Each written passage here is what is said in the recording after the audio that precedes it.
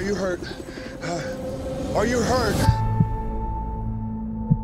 People need to know that the shaking is not over. We'll get hit again.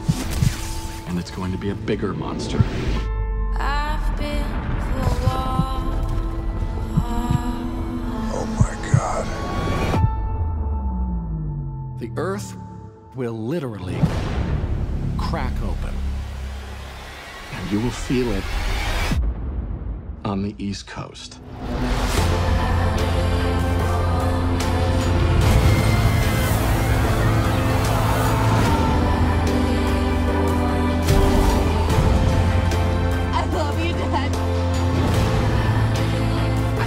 emphasize this enough. You need to get out, and I mean now. If you can't,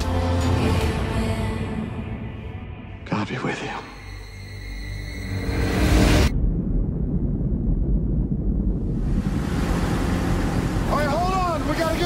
fortress!